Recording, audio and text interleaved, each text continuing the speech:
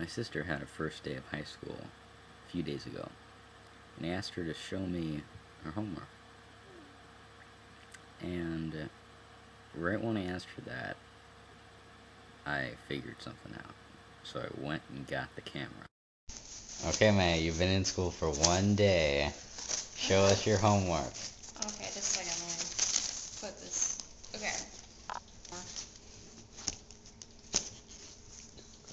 So I had to fill out information sheet to show Ooh. all this stuff, Okay. and then I On had to the do. back? Oh, there's nothing on the back. Oh. Well, there is, but we didn't have to fill it out yet. Oh, Probably will later. but- Oh, okay. So, well, this is my math thing. So, well, I had to get signatures. Yeah, fill that out. What's that? Keyboarding? Oh yeah, keyboarding. I got some signatures. That's my money for books. So sign here and there, and then sign, Sign, sign. Well, you don't have to Sign, sign. date. Ah, here I got a whole bunch of stuff. This is so I can watch movies. Points thing.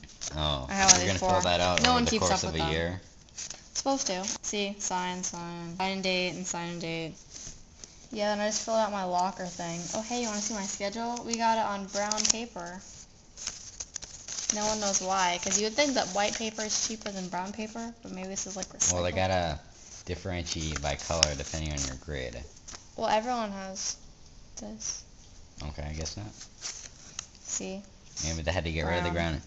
You got an F? Mac. That's my gender. Oh.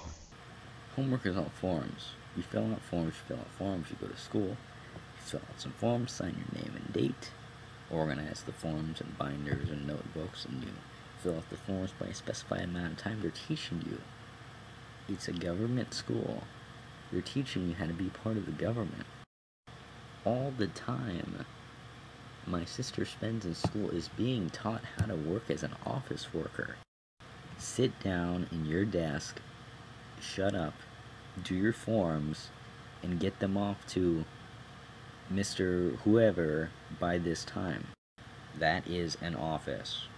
All the kids have their own squares, and you all sit in your own square, and then you go home. You come back and you do it again every day. How much mental stimulation is possible for a child in an education system if the education system is an office building